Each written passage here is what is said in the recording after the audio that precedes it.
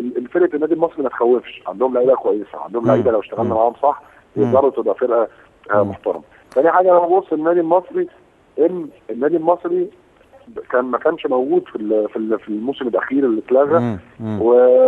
والموسم ده أنا بالنسبة لي إن هو موسم آه، استعادة آه، سمعة النادي المصري ومدينة بورسعيد لسمعتها الحقيقية. لأن أنا. لأن أنا شايف إن مدينة بورسعيد والبورسعيدية اتظلموا. في. في ال... في الفترة اللي فاتت وتم تشويه آه، النادي المصري وتم تشويه جماهير بورسعيد وتم تشويه مدينة بورسعيد بفعل فاعل.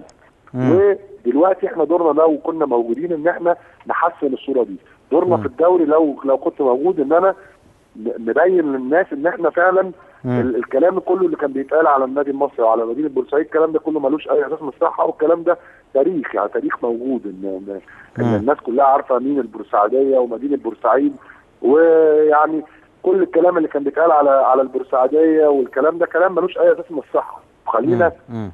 نرجع من للتاريخ مرة ثانية إن لولا البورسعيدية ولولا مدينة بورسعيد ورجولة مدينة بورسعيد كان زمان إسرائيل بيصي- بي بي بي بيصيفوا في مارينا يعني يعني الناس دي. في التاريخ اللي إحنا درسناه والتاريخ ده من أيام من أيام صح من أيام العدوان الثلاثي كمان مش بس أيام من أيام إسرائيل حرب يعني 56 مم. إن- ف ف ف ال- إن- إن تشويه مدينة بورسعيد وتشويه أبناء مدينة بورسعيد تم بفعل فاعل والكلام ده كل الناس هتعرف حقيقته في الوقت في الوقت. المناسب.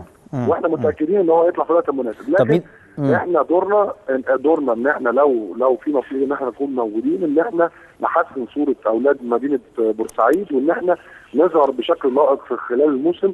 آه لكن كلامك كله يا ميدو يبين إن أنت هتدرب خلاص المصري كلام كله نتجه. ناحية إنك هتدرب المصري إن أنت عايز تدرب المصري أنا أنا بالنسبة لي قصة التدريب ك كمشروع هي هي حلم أنت عارف إن أنا بحلم إن أنا أكون مدرب. وطول عمري آه كابتن حازم والكلام ده أنا بقوله لك يعني ما فيش حد يعرفه ان أنا راجل دايما طول عمري حتى وأنا بلعب كنت بشوف ان أنا هبقى مدرب ومدير فني قد ما أنا كنت لعيب مليون مرة.